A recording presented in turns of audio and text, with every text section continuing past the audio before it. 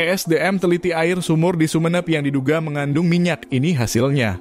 Dinas Energi dan Sumber Daya Mineral atau ESDM Provinsi Jawa Timur mengambil sampel air sumur yang diduga mengandung minyak bumi di desa Batang-Batang Laok, Kecamatan Batang-Batang, Kabupaten Sumeneb, Selasa 3 September 2024. Hasilnya tak ditemukan kandungan berbahaya dari air yang berasal dari sumur bor tersebut.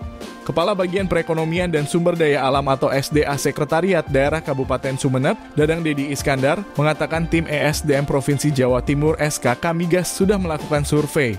Mereka didampingi perwakilan Pemkap Sumeneb bidang perekonomian dan SDA.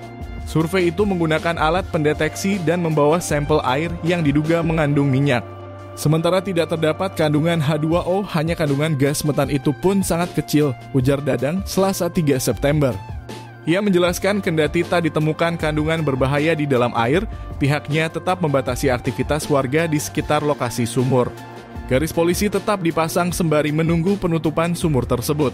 Hal itu bertujuan mencegah warga bermain api di sekitar lokasi. Sementara sumur tersebut ditutup dan masyarakat sekitar dilarang mendekati sumur yang sudah kami pasang garis polisi. Intinya tidak berbahaya kalau tidak ada percikan api, pungkasnya. Diberitakan sebelumnya, warga desa Batang-Batang Laok, Kecamatan Batang-Batang, Kabupaten Sumeneb, Jawa Timur dihebohkan penemuan sumur bor yang diduga mengeluarkan air bercampur minyak bumi Sabtu 31 Agustus 2024.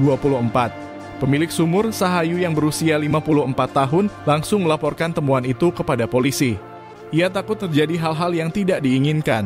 Kepala Subbagian Hubungan Masyarakat Polres Sumeneb AKP Widiarti menjelaskan temuan itu bermula pada November 2023.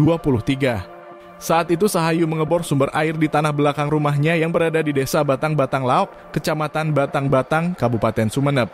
Saat mencapai kedalaman 65 meter, air tampak kecil dan akhirnya diputuskan untuk dihentikan. Selanjutnya pada Sabtu 31 Agustus 2024, Sahayu kemudian coba-coba mengecek kembali hasil pengeboran tersebut.